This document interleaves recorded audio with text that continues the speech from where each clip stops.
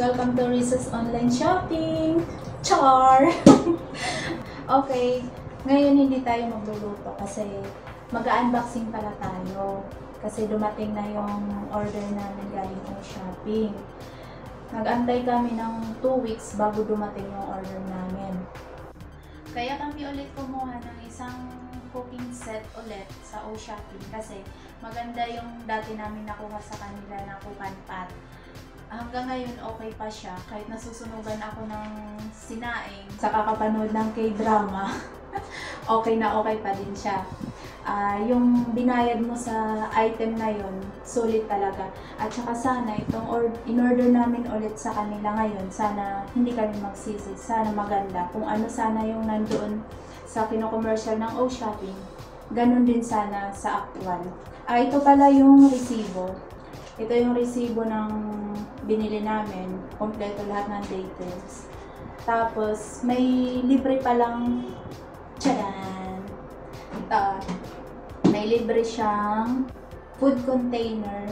Sabi, apat na peraso daw. Food container. Saan natin? Maliit.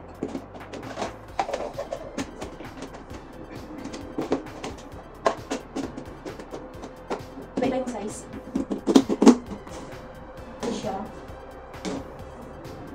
Kaya lang parang napansin ko, manipis yung plastic.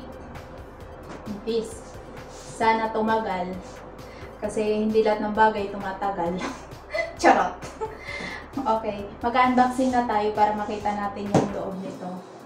Excited na ako. Kasi parang maganda. Medyo may kabigatan. Okay, unboxing.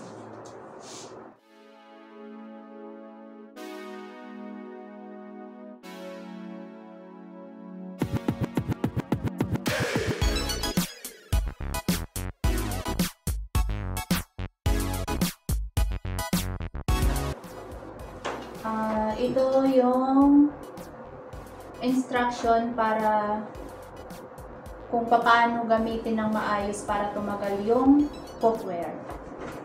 Sabi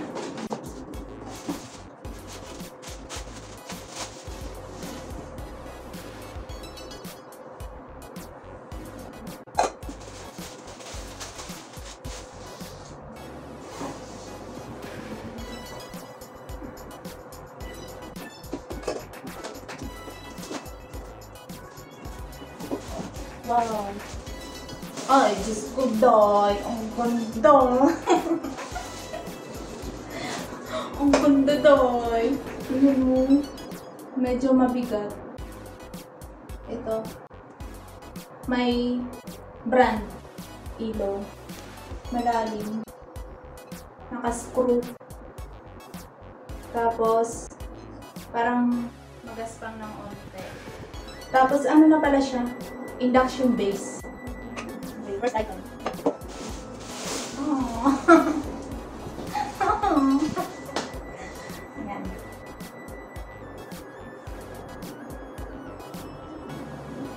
Wow. Nakascrew din.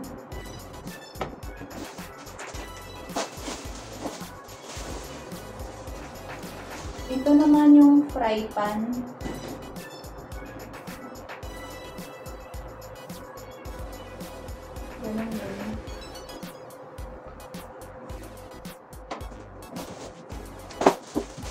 Tapos, ito ata yung free na maliit na fry pan. Sinasabi doon sa commercial nila na ito free at saka sa, kasama yung food container na apat.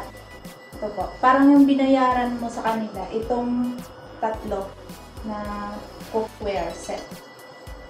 Maganda siya. Pang itlog.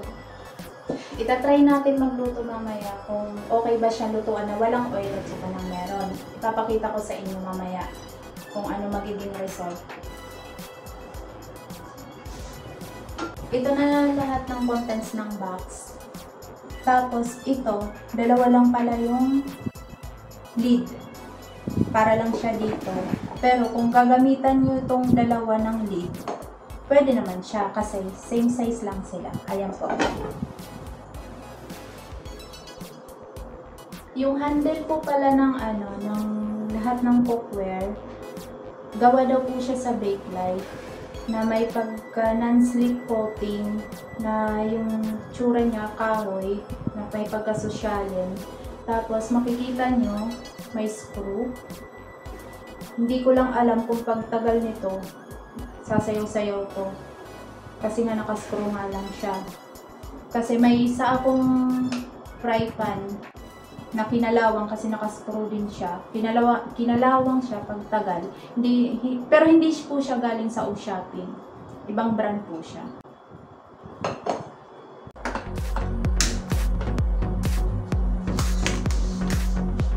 Ito yung walang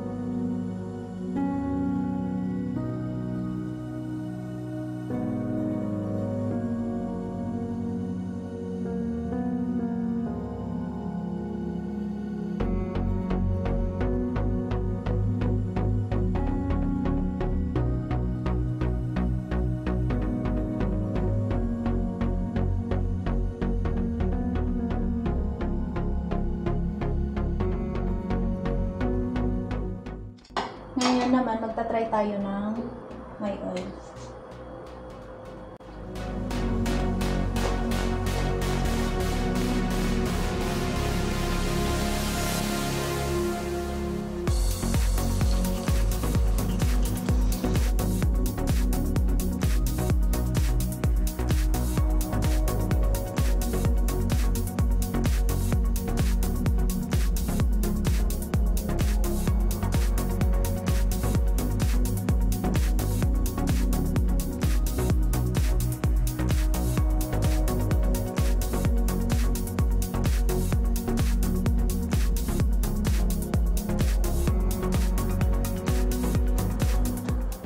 So, sorry, nabasa. Nabasag yung egg. Ito. Ito yung ilalim.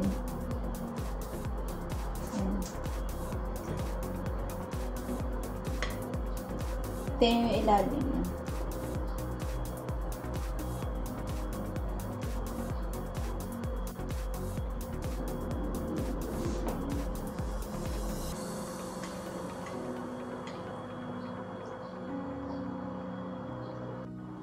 So, ayun po, nakita nyo naman po yung pagkakaiba ng pagluto natin ng egg na may oil at saka nang wala. Hindi po siya dumikit kahit may oil o kahit nang walang oil. Pasensya na dun sa egg kasi nabasag. Tapos, nung una po may doubt ako kasi yung texture talaga niya magaspang. Hindi siya tulad ng mga ceramic pan at mga teflon na nakikita natin sa mga shopping center. Hindi po siya ganon. Pero ito, tingin ko mati, parang tatagal to. Kasi ito, makapal yung aluminum niya. Kahit i bato nyo to sa mga kaaway nyo, okay lang. Ah, so, ayun po, sana yung video na to nakatulong po sa inyo. Kung sino man po yung magdi-decide bumili ng granite cookware, sana po nakatulong sa inyo. Thank you sa panonood.